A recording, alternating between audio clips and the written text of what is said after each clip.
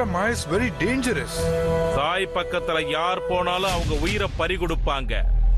ஆபத்தான நேரத்துல சாய் உதவினார். இன்னைக்கு அதே ஊர் மக்கள் அவரை நிராகரிக்கிறாங்க. சாய் என்ன அதிசயம் நிகழ்த்துவார்? இந்த நோயை போக்கி சாய் இந்த மக்கள் எதிர்க்க சாய் பாபாவா மாறுவாரா?